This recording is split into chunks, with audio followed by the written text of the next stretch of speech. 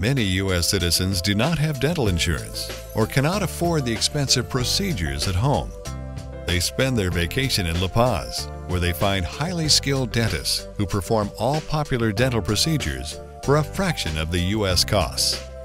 My son came from Toronto actually to have work done with Dr. Clavel because it did end up being less expensive for him to get his airfare, hotel, and have work done with her. And he was so pleased with it, he's, he's gone back home to Toronto and told all his friends about it.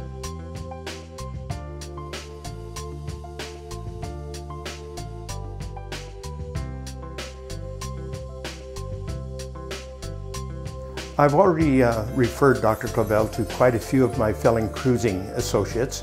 Uh, we have a very large boating community here in La Paz, and they're usually Americans, Canadians looking for a good dentist. And I've highly recommended her personally and on a couple of the internet sites.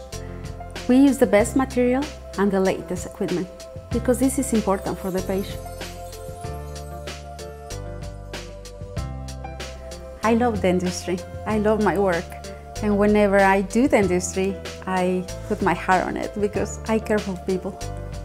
I've been coming to Dr. Clavel because she is, besides being a wonderful person, she is an excellent dentist.